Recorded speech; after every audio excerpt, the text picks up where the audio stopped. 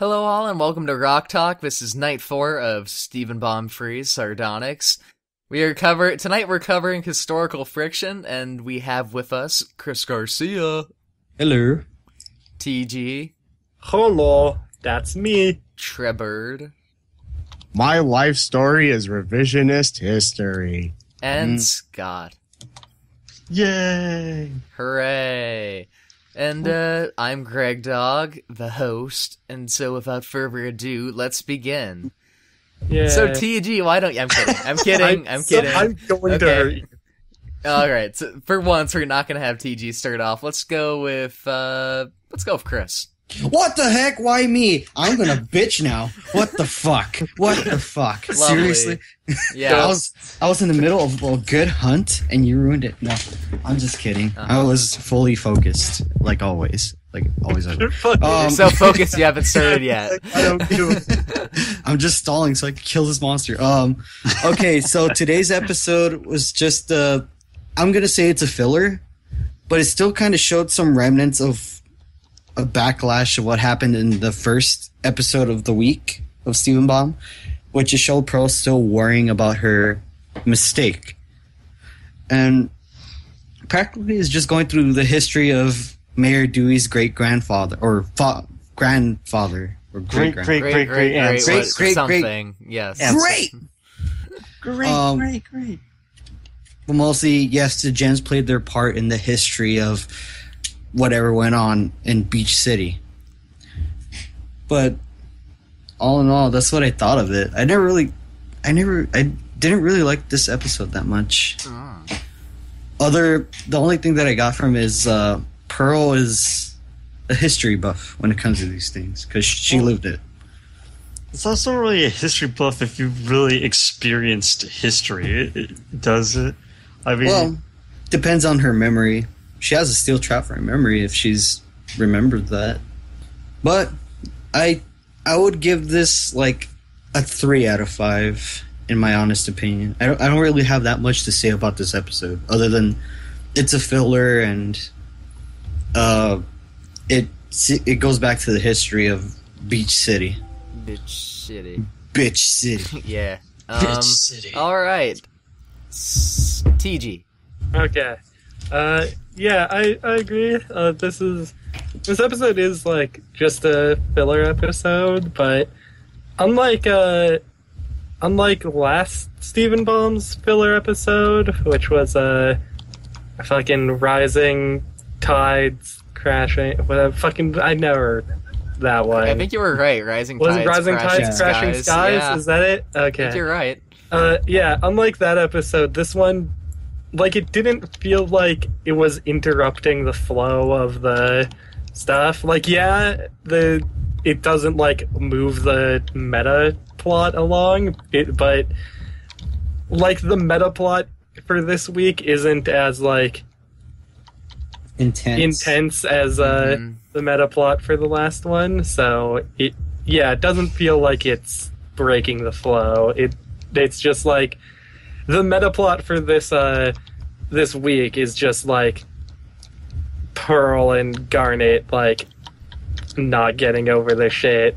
Probably so- getting, getting over a spat. Yeah, so like Mhm.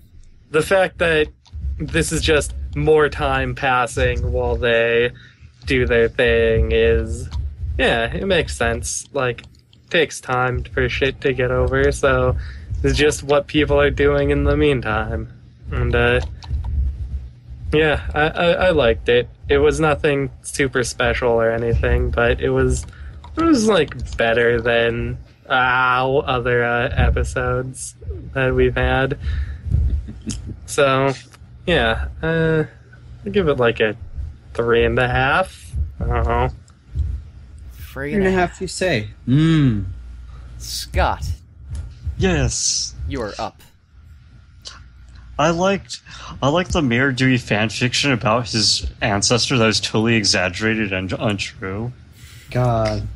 That's it's like it's like the It's like- story of uh, like- the story of Gil- the epic of Gilgamesh. Personal family fan fiction. Yeah, personal Oh, family man. fan Epic. fiction. It's Gilga- like the slash fiction we kept uh, TG was m- mouthing off yesterday. Oh, uh, Uh, Gre- uh, Scott, can I Can I butt in a bit? Go ahead. I forgot to mention how this actually teaches a lesson on how to build character in like a story. Like how how you make a character actually into like a human being. Instead of making like there's no flaws, they're perfect. They can't have any flaws whatsoever. Yeah, I noticed that was a commentary on how to do actual, you know, make a character good kind of thing. It really does. If with people who are out there, if you don't know how to build character, if you watch Steven Universe, watch this episode. This was a lesson on how to not make a Mary Sue. Yeah. How to not make a Mary Sue. Yeah. It's a teensy bit complicated, more complicated than that, but I'll get into it. But it, Yeah. yeah. but it gets it gets it's It pretty is. much the basics. It's like make them human. Don't make them un. Uh, I get or Don't make them unhuman. Make them human. Don't make them unhuman. or give I them said I was human unhuman. problems. Nobody- There you go. Or I am unhuman. anyway, uh, I'm You I'm gonna. Other than that, I it didn't really go. It was just filler, so I'll probably just give it a three because filler. And I'll go next. Uh, yeah, it, it's it's a filler episode. Um, I do admit that I laughed a lot at the uh, jokes in this episode, though. It was pretty funny. I like Jamie as a character, and he uh, he's pretty like- silly. Oh yeah, Jamie doing Garnet was hilarious. Yeah, Oh, yeah, Garnet Garnet and and, and he had a bop for Amethyst. Yeah, Mop Amethyst. I, I was really getting a good chuckle out of that. So, on that, I have to say yes, I did enjoy this episode, but I do wish this Steven Bomb had a little more action to it. Not that I don't mind these kind of just more character based, relaxed episodes, but you know, it it was okay. I, Relax. yeah, chill out, man. But uh I mean it, it again, it doesn't do what uh Rising Tides Falling Skies did or whatever again, whatever that was called. It it does it doesn't interrupt the meta plot. It's just it's just kind of there. It doesn't like break it up. And uh trying to think what else to add. Just don't think. Just do it. Don't think. Do it. But uh yeah, I don't, I don't know. I don't really have much to say. Yeah, it's a filler episode. So 3.5 out of 5 Treebeard, you finish up. Treebird? Alrighty, so uh obvious first part. I like the writing commentary because it's true. You need to make characters that have flaws, are multidimensional. They need, of course, on top of having flaws, they also need to have uh You also need to give them some appeal, some some reasons to root for them. But yeah, that's beside the point. Hmm. The commentary was interesting. I kind of like getting the sort of backstory. It was a teensy, it was a teensy bit lacking, but hey, it's what it is. Gotta take it what, you- what it's for. Yeah, yeah, It's the backstory in play form. yeah. Very, very short play form. Uh, f- but in regards to it being an episode in a Steven bomb, I'm yeah. It, it's nowhere near as bad as that episode. That's the stupid fake documentary made by Ronaldo, where they made the same point about him as they did the last time they had an episode about Ronaldo. But I don't know. I feel like I might have liked this episode a bit more if it weren't in a Steven bomb. hmm Yeah, I mean, Hmm. like my pro- thing is the thing is that like I think we were tr- like we were spoiled last Steven Bomb with what we got the last. Well, I in don't- fact, the last two. I feel like we can't hold the fact that things are in Steven bombs like against them because it's not the writer's fault. Like, That's more of the that's more of the network. yeah, deciding cartoon. that. It's Cartoon Network deciding to do the Steven bombs. Yeah. So, like, we can't say like, man, writers, why did you put this here in the? Steven I'm not bomb?" saying I'm not ma- saying it as a knock against the writers. I'm just saying I it just Yeah, it just in, it's the, just- in the it circumstance. Yeah. given the circum- Yeah. yeah. given Yeah. the circumstances, I feel like I would like this episode better if I knew it wasn't like one of the only five I was going to get for like a long time. Yeah, Uh, it it doesn't really accomplish a whole ton, and at this juncture where you kind of have to budget your choices for episodes. I don't know. I feel like this was in you expanding on that metaphor. This is poor spending. So uh I don't know. It didn't do a whole lot for me. So 2.5 out of 10. Okay, so Better than stupid Ronaldo documentary, but yeah. it's just meh. Stupid Ronaldo. Yeah. That comes out to a 3.1. So Uh, What's that the is point our of it's our lowest episode with Steven Bomb. It ain't a failure by any stretch. It's just a kind meh. of it's a It's meh. just it's a mess. It's our first meh of the Meh. week. So yeah, you know, we're not upset or anything, but uh, We're not mad. We're just disappointed. wow, I wouldn't even say oh that. man, we're going all dad on Steven Universe. God, guys, God who parted, you're not my real dad. Stop telling me what to do with my episodes. Don't tell me what to do. I'll tell you what to do whenever I want. Don't tell me how Yeah. to write my episodes. So, uh, You're not my you guys want to you guys want to talk about the Steven Bomb format, like the strengths and the weaknesses of it? Sure. Uh, sure, Alright. why not? Yeah. Well, yeah, this is the fourth. Uh, we have one more episode left. Might as well, Yeah, since we didn't talk about it last time. because yeah, I, I kind of brought it up because I'm a bitch. Who said that? I, Who called I you? that? agree. It's uh, it's interesting. Like, I feel like it, it, it works really well, and the episodes are all connected pretty closely, and it's like a big saga. Like, if it's an action packed saga, it can, you know, it can be a really good thing, I guess. But well, like, Because it can What- get you really hyped up really fast, and you you're really excited just to see the next yeah, episode the, next day. first but- Steven Bomb did it really well. right?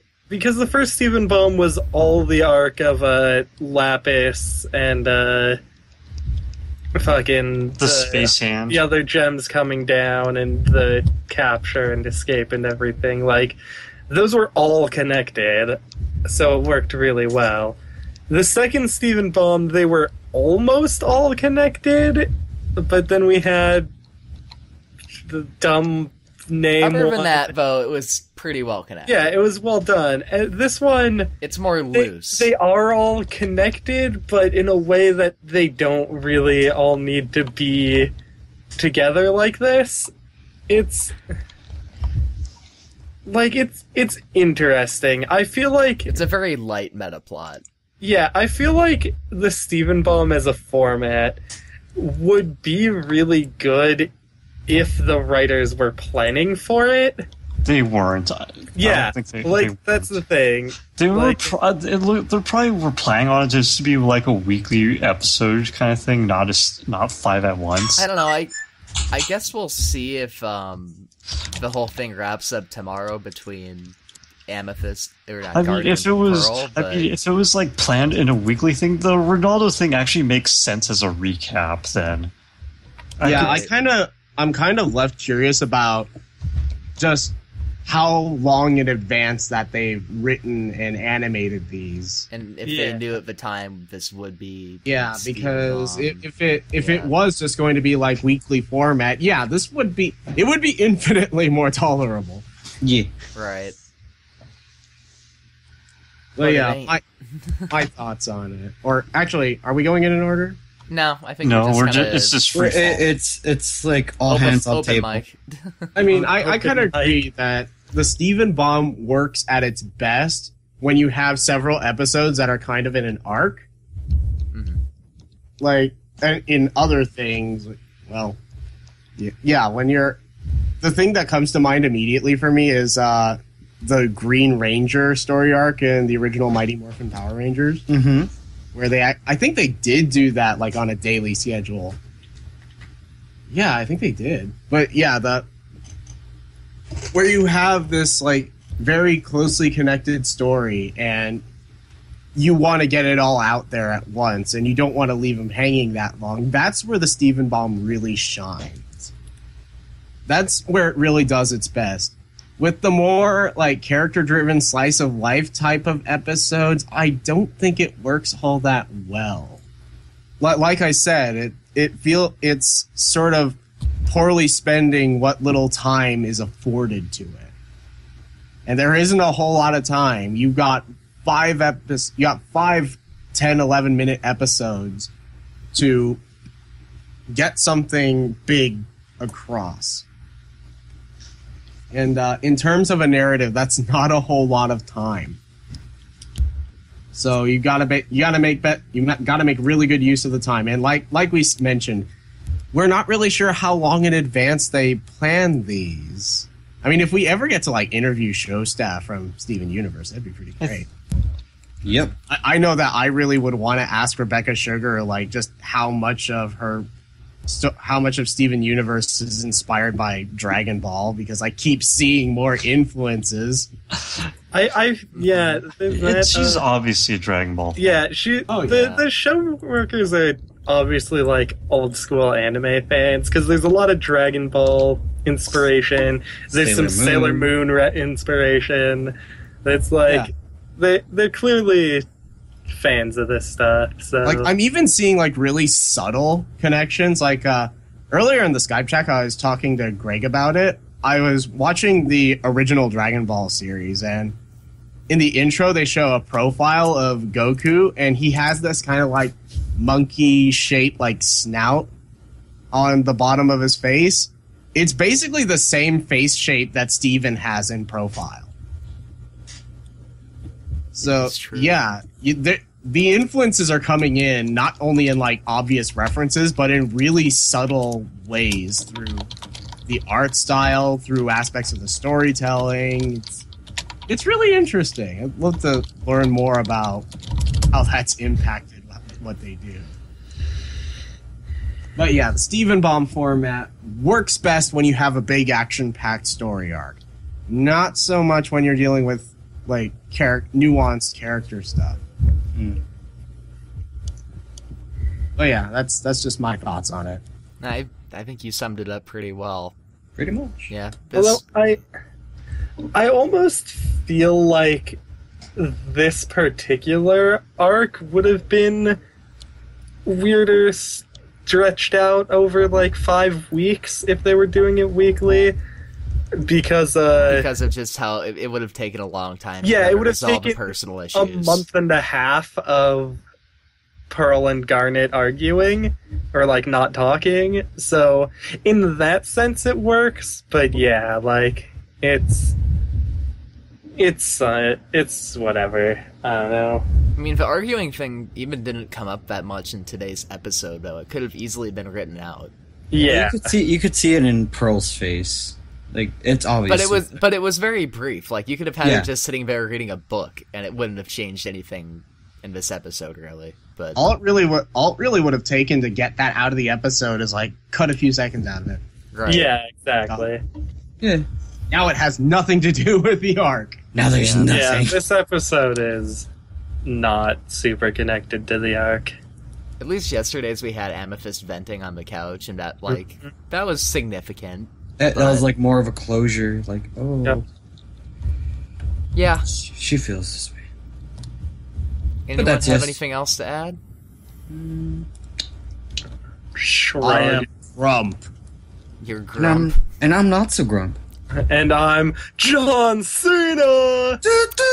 Okay. That means we've had enough. Okay, we have definitely gone on long enough for tonight. This has been Rock Talk. Uh, tomorrow we'll wrap things up for uh, this week, and we'll see you then. Until then, rock, on. Yeah.